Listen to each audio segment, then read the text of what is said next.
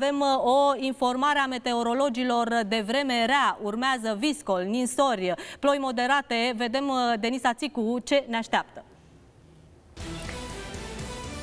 Bun găsit, Andreea! Bun găsit, doamnelor și domnilor! Este o informare fără cod deocamdată, uh, emisă de meteorologi în urmă cu doar câteva minute. Uh, începe de mâine, de la ora 14 uh, și rămâne valabilă până luni dimineață la ora 8. În acest interval de timp sunt prognozate precipitații în toate zonele țării. Pe parcursul zilei de mâine vor fi ploi în jumătatea sudică a teritoriului și Lapoviță la munte. Lapoviță care odată cu venirea serii se va transforma în ninsoare. O ninsoare însemnată cantitativ pentru că se va depune un strat de zăpadă destul de consistent peste cel existent deja în uh, zonele montane. Mai mult decât atât, vântul își va face simțită prezența peste tot, viteze la rafale de 40-50 de km pe oră, iar în zona montană, în special în zona montană înaltă, 80-90 de km pe oră la rafală.